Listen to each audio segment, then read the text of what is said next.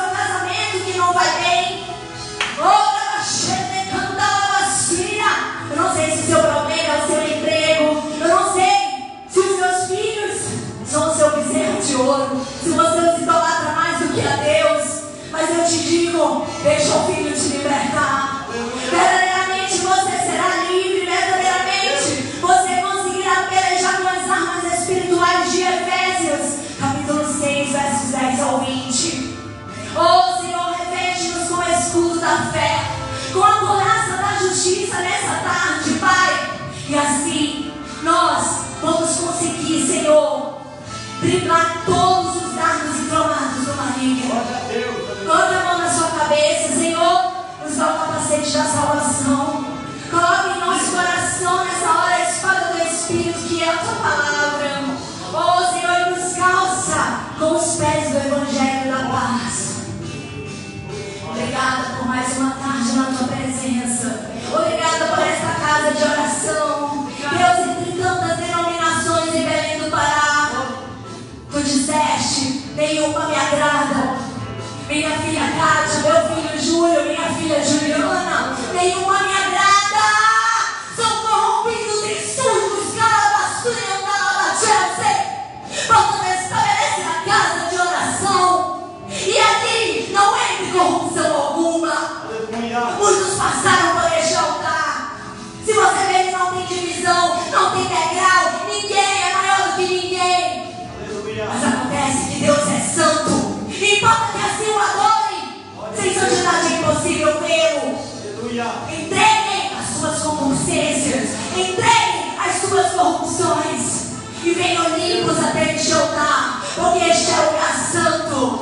Quando Deus diz, agora tira a sandália dos teus pés, porque aqui é lugar santo. Ele não está falando no sentido literal. Muitos fazem isso, então descalços nas igrejas.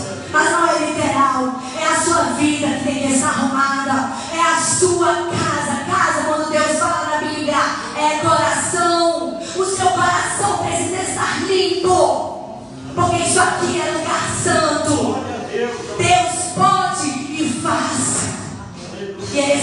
estabeleceu este lugar para converter o coração verdadeiramente dos pais aos filhos e dos filhos aos pais.